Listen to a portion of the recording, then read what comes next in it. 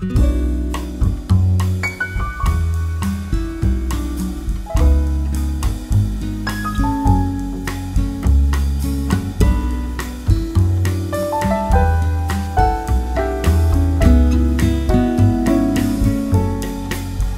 Oggi vorrei parlare di un fenomeno che in questi giorni sta un po' spopolando sull'internet, principalmente su YouTube America, ma diciamo che un po' la notizia si è evoluta in modo internazionale, ecco. Come vedete bene sul mio sfondo, sperando che si veda bene, siamo sul canale di Nico Cado Avocado. Per chi non sapesse che è Nico Cado Avocado, è uno youtuber che fa mukbang. Eh, il mukbang sarebbe lui che mangia davanti alla videocamera banalmente dei cibi abbastanza pazzeschi, solitamente mangia delle robe abbastanza abbondante, ok? Come tanti noodles piccanti o paninazzi del Mac o robe simili fino a esplodere. E tutti sappiamo chi è, perché comunque è sempre stato un fenomeno che su YouTube ha spopolato abbastanza, un po' per le sue reazioni molto particolari col cibo, piangendo, urlando, facendo un po' delle scenate abbastanza importanti e anche perché eh, purtroppo eh, soffre di un'obesità abbastanza importante, ok? Per oggi vorrei soffermarmi su uh, questo piccolo video che mi ha sorpreso abbastanza che ho scoperto completamente a caso girando sull'home di YouTube mi è comparso e ci sono un attimo rimasto. Nico Cadavocado esattamente due giorni fa carica questo video che si chiama Two Steps Ahead. In questo video vediamo un Nico Cadavocado, diciamo dimagrito, ok? Come dice nel video ha perso una roba come 100 e passa chili, ok? Eh, tipo 113 kg perché in pound erano tipo 200, mi sa, e teoria sono 113 da quello che avevo cercato. E vediamo un Nico Cadavocado calmo, in un certo senso, un po' come vecchi video, perché si ricorda il vecchio appunto Nico, lo chiameremo Nico per simpatia,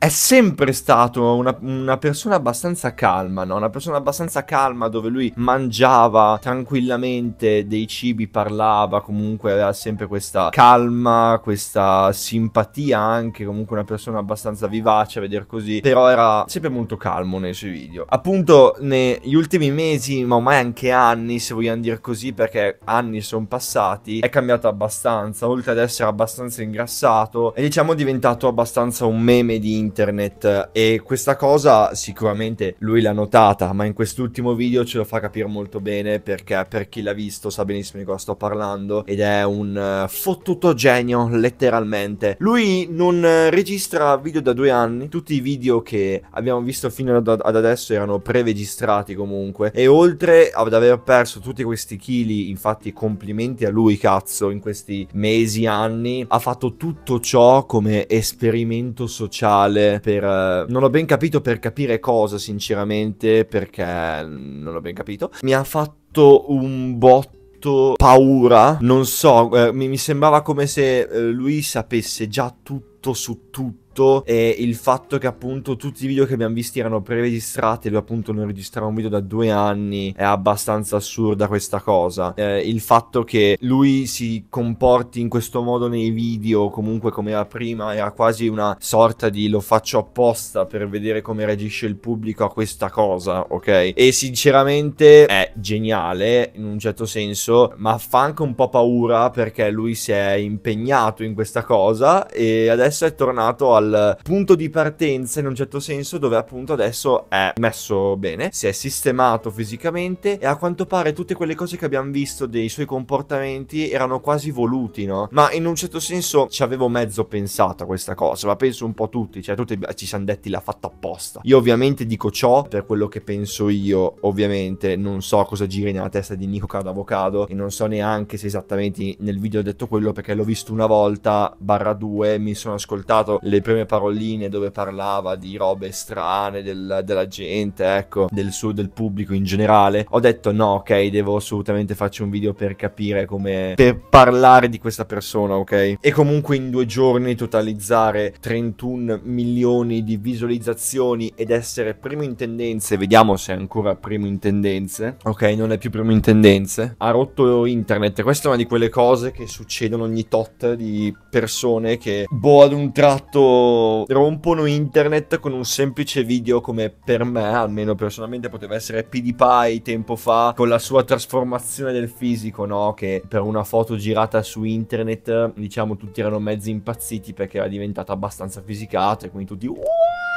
E sinceramente è astrale questa cosa. Ma la cosa che mi fa ancora più riflettere di questo fenomeno è il fatto che lui nel video, non questo che sta andando, questo del secondo canale, perché ne ha fatti due, ok? Parlava di come se tutto fosse un brutto sogno, no? Come se lui stesse appunto dormendo in tutto questo tempo, finalmente si sia svegliato. E questa cosa qua è una cosa abbastanza strana, perché comunque lo vediamo molto cambiato rispetto a prima. Prima era una persona molto più, era molto più scattante, come eh, iperattivo quasi, aveva delle movenze comunque diverse, aveva un modo di fare molto diverso rispetto a come lo vediamo esempio in questo video okay, che è molto pacato, calmo, tranquillo anche dalle espressioni che fa, da tutto tutto. Ed è, un, ed è, una cosa stranissima, un fenomeno molto strano perché sono in confusione tra o l'ha fatto veramente apposta o ha veramente avuto un periodo in quel modo e poi ha fatto una transizione abbastanza importante. Ma contando che questi video li ha tutti registrati nell'arco di 8 anni e per due anni non ha registrato video, mi fa un po' riflettere sul fatto che, ovvio sì, ha registrato una quantità industriale di video per caricarli senza che nessuno sapesse che effettivamente questi video eh, sono stati preregistrati caricati, ok? Anche perché li caricava sempre a distanze abbastanza importanti. Comunque l'ultimo video prima di questo è stato eh, caricato più di tre mesi fa, o più di due mesi fa, non ricordo esattamente adesso. E quindi ha avuto un bel periodo di no caricamenti, ma se andiamo a vedere esattamente, se andiamo a vedere esattamente gli ultimi caricamenti, sono tutti video caricati a distanza di due o tre mesi. Questo, se, questo esempio, il penultimo video prima dell'ultimo, sette mesi fa, dieci mesi fa, un anno fa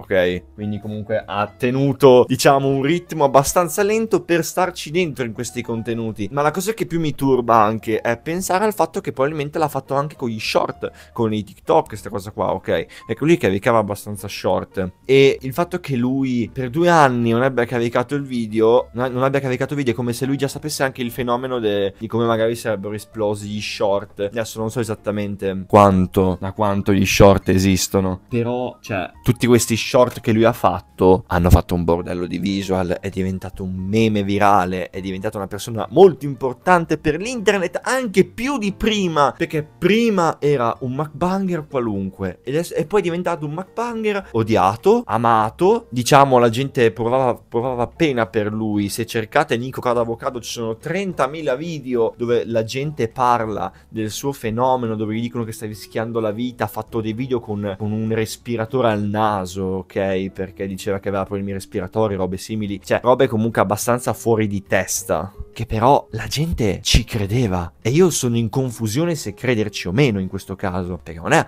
effettivamente detto che quei video lì erano tutti ah ah meme, ok? Quindi il mistero c'è, questa persona sicuramente ha una grandissima mente, ha una voglia di sperimentare il pubblico in una maniera pazzesca ed è una cosa che ammiro tanto, ma è anche una cosa che mi spaventa abbastanza.